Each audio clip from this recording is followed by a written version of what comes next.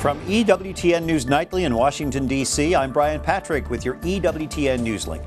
A decision is in the Supreme Court ruling that 35 foot protest free buffer zones around abortion clinics violate the First Amendment. Our Jason Calvi reports from the Supreme Court tonight on EWTN News Nightly. There are new updates now on the missing Malaysian jetliner. Investigators say they are confident Flight 370 was on autopilot as it flew over the Indian Ocean, so the search will now move farther to the south. The Sudanese Christian woman is arrested yet again. Meriam Ibrahim was released from prison on Monday, detained at an airport on Tuesday, and now is in custody at a police station accused of forging her passport.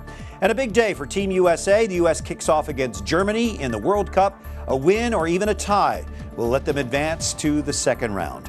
I'm Brian Patrick with your EWTN Newslink. I hope you'll join us tonight for EWTN News Nightly.